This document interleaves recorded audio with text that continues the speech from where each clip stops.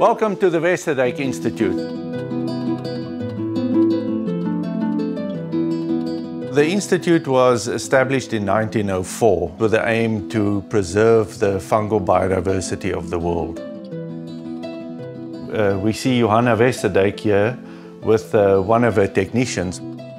This movie was taken around 1946, just after the war, and from there the collection really started to expand exponentially.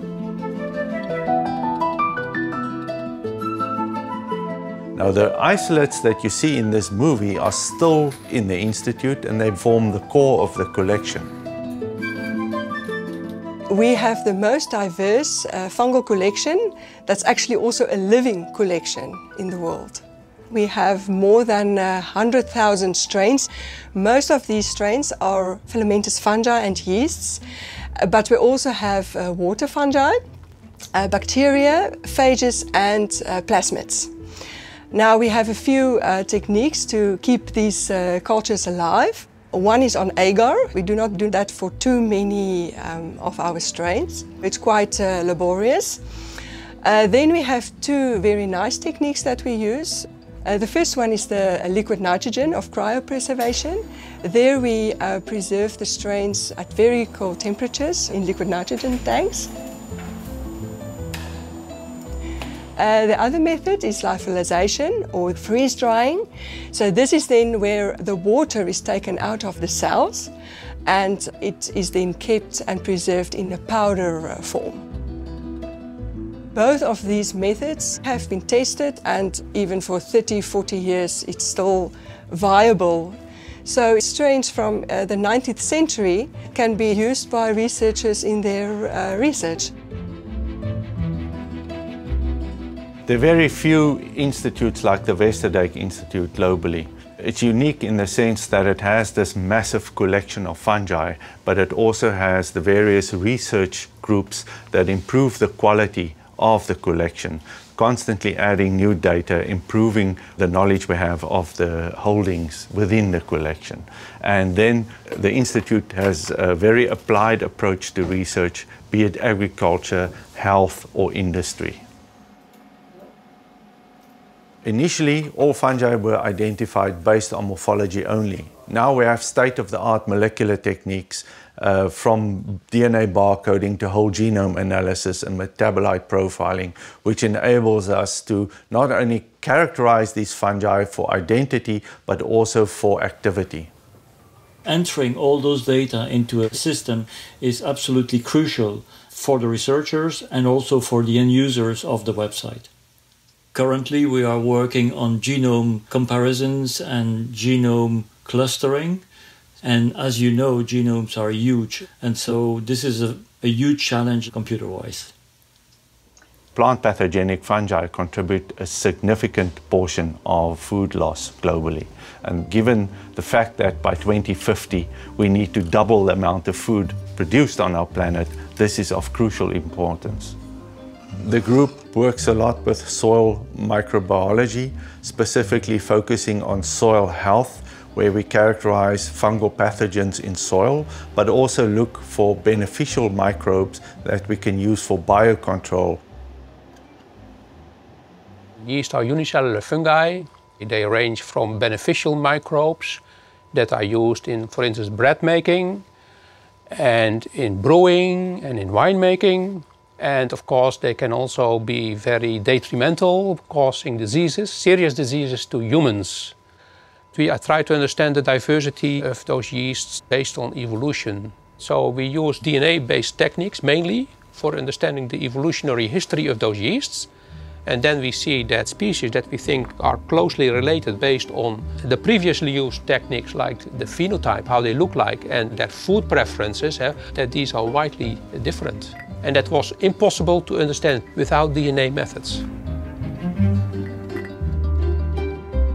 One thing that we particularly are uh, recognizing much more uh, during actually the last 10 years is the presence of hybrid yeasts.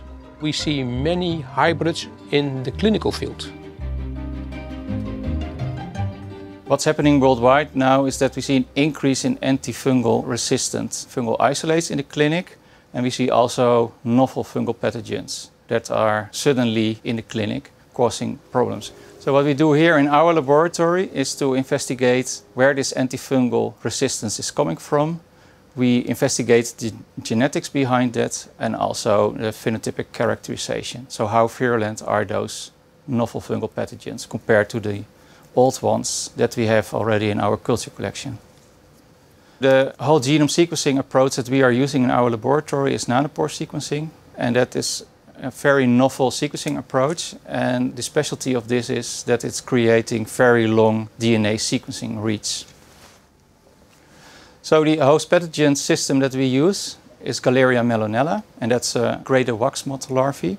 And we inject them with the fungal pathogens of interest, and then we compare the effect what the different isolates have on these larvae. Then we start diving into the genetic difference of these isolates.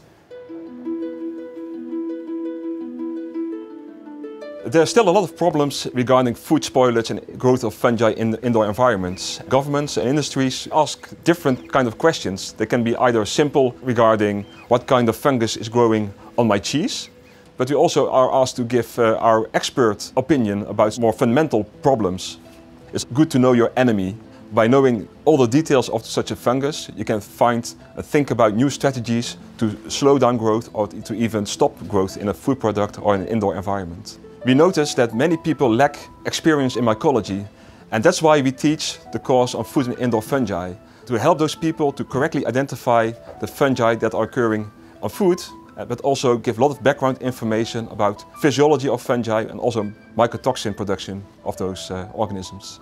The bio-based economy of course wants us to switch from traditional processes like chemical processes to more bio-based processes and fungi are quite critical there because they have a huge range of possible applications. For instance, we need to have in our diet a certain amount of protein, but animal production is not really sustainable.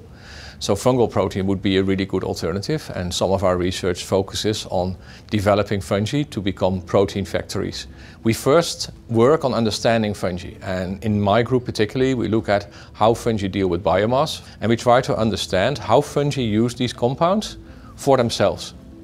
And once we understand how they use them for themselves, we can also try to understand how those processes could benefit all kinds of applications. We try to look at the diversity of fungi and the total potential that there is in diversity and then pick from that those ones that are particularly suitable for a certain application. Here at the Westerdijk we have plenty of strains that we can screen for interesting biological activities and find new molecules. Our first strategy is to start from the genomes and the genes to identify new molecules that we can then test for biological activities. And the second strategy is the exact opposite. So we start from finding interesting biological activities from fungi then try to identify the molecule and in the end link these molecules to the genes. And with this knowledge, we can transfer the genes into another fungus in which we control the expression of the genes and thus we can produce these molecules. You look at biodiversity and you think it's about the bear or the deer or the tree. It's not only that most of the biodiversity is minute and you cannot see it with the naked eye. These microbes are essential and that's where we come in.